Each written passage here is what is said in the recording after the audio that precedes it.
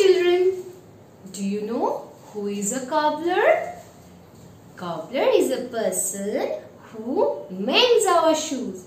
So come on, today let's do a rhyme on cobbler. Okay, let's start. Cobbler, cobbler, mend my shoes. Get it done by half past two. Cobbler, cobbler, mend my shoes. Get it done half past two. Stitch it up and stitch it down. And then I give you half a crown. Did you enjoy this rhyme? Let us do it once more. Cobbler, cobbler, mend my shoe. Get it done by half past two. Stitch it up and stitch it down. And then I give you half a crown.